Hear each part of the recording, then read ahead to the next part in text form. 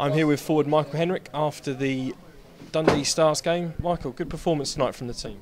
Uh, thanks. Yeah, we uh, we played really well. We had some time off, and I think we uh, took advantage of that. Got rested, and uh, we played really well tonight. Tried to limit our mistakes, and, uh, and, and it helped to show on the ice.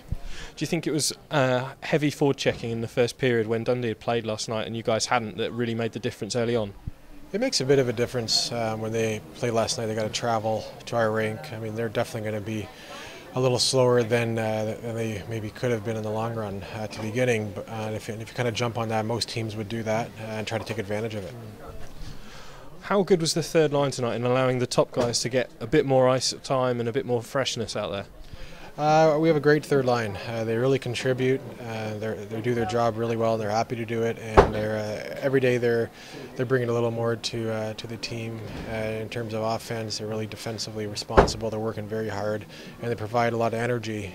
Sometimes when you know, like you said, like when we need it. So. And Ryan Ginand, another another set of goals tonight. how how useful is it to having him on the team? It's great. Like when you have somebody that, that scores goals and um, you know and, and, contributes like he does, it, it, it, makes your team that much better. It makes everyone around you better as well. Uh, you can start to focus on different things as a player, um, and it's nice to see that he always steps up and, and is getting that done for us. Excellent. Well, thanks very much, Michael Henrich. Thank you.